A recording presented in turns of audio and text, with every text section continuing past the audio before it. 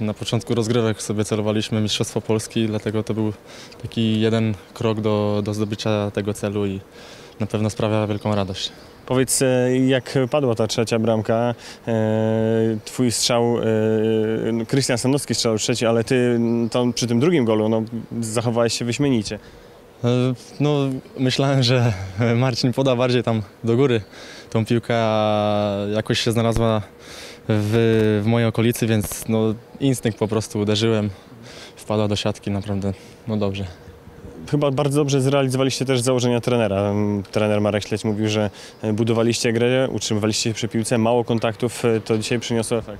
No tak, na pewno. W pierwszej połowie tak za bardzo nie kleiła nam się gra, ale już na drugą połowę wyszliśmy ze świeżymi głowami i trener co powiedział, to wnieśliśmy na boisko.